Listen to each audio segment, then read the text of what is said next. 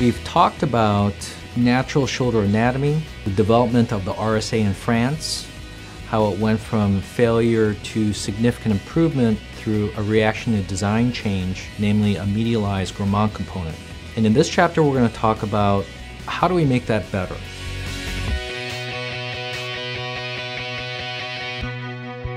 If you look at the original French design, which had a higher failure rate that was then acceptable, and because of that they went to a medialized component, there are some really nice aspects of it. Namely, the center of rotation is more anatomic. And anytime you go more anatomic, things tend to be better. So an American surgeon said, well, I really like this aspect of the lateralized glenosphere. If it's a lateralized glenosphere, it's more natural and potentially I can improve some problems that we see in patients with a Grammont style reverse. Namely that the arm becomes medialized and placed distally.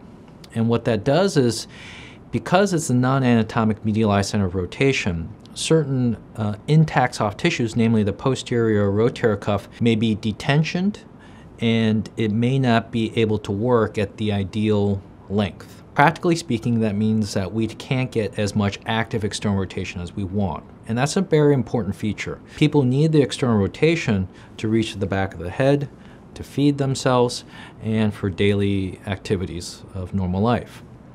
In addition, when you have a medialized center of rotation for an RSA, the cosmesis becomes different. The arm looks a little boxier, arms tend to be a little bit lengthened. And that becomes an issue for patients where uh, clothes don't fit as naturally. Suits have to be tailored or lengthened.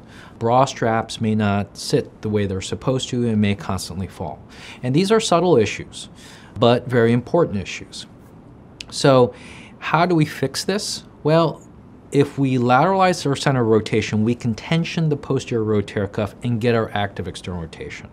If we lateralize the center of rotation or lateralize our glenosphere, we can potentially improve the cosmesis, a more rounded shoulder instead of the boxy shoulder, a more normal arm length than the longer arms that uh, I, personally have seen in uh, medialized center of rotation implants. So I think the lateralized design is, is a nice evolutionary step in terms of uh, reverse shoulder replacements, but it really, you have to get some key biomechanical factors and good fixation in order to get those additional benefits.